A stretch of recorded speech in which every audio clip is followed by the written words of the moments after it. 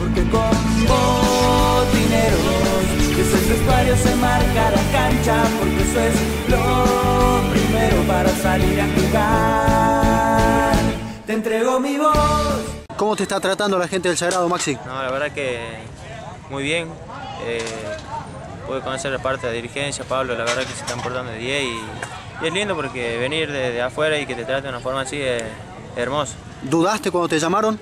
No, no, no. eh, cuando me habló Pablo, al día siguiente lo confirmé porque la verdad que fue buena la propuesta que me, que me hizo, así que no, no, no hubo ninguna duda sobre eso, digamos. También tenía muy buena referencia el club, así que acepté felizmente. ¿Con quién hablaste? ¿A quién le pediste referencias? Que tengo la excelente referencia de un club que, que me lo enfrenté, eh, conozco parte de- del plantel también y la verdad que estoy muy ilusionado. ¿Quién es Maxi Guerra? O sea, ¿quién es el jugador que llega? ¿Cómo te describís? No, la verdad, humildemente hablando, yo vengo a sumarme a un, plantel grande. Ayer tuve la posibilidad de entrenar con el equipo y, no, yo como le dije a, a vengo a darlo, a aportar lo que, lo que sé. Eh, obviamente voy a dar más de eso, así que espero que, que, que me vaya bien. ¿Hincha de quién sos en Tucumán? Atlético Tucumán. Y bueno, a nivel, a nivel de AFA, ¿te gusta algún otro? Eh, no, soy hincha River, pero bueno, me crié en, en Barrio Norte, Villa 9 de Julio, así que Atlético Tucumán es el más grande. ¿Cuándo llegaste a Andalgalá, acá a la provincia? Hace dos años. eh, ¿Y por qué Andalgalá?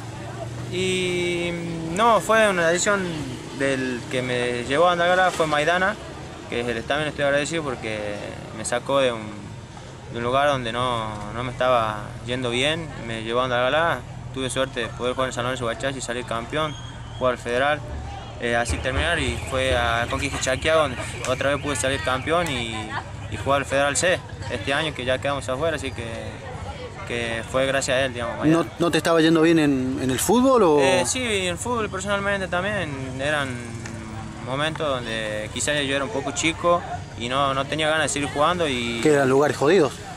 Eh, sí, no tanto problemas quizás problemas más personales que quizás no me dejaban entrenar y, y bueno, no podía tener continuidad en el club y así me dejaban de lado.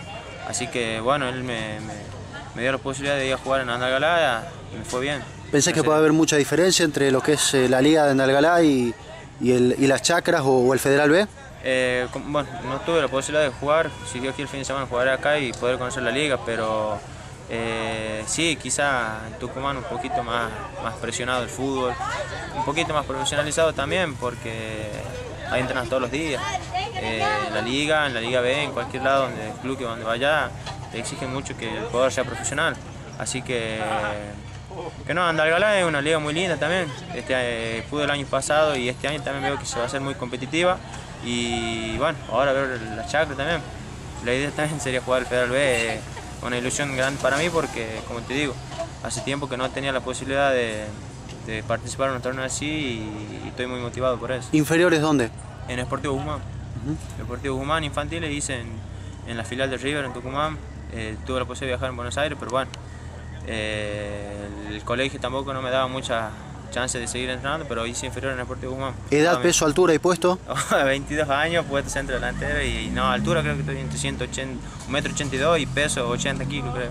Así que tengo que saber todo eso. Bien, Gracias Maxi, No, suerte. gracias, ¿eh? vos. Porque con botineros, desde el vestuario se marca la cancha, porque eso es lo primero para salir a jugar. Te entrego mi voz.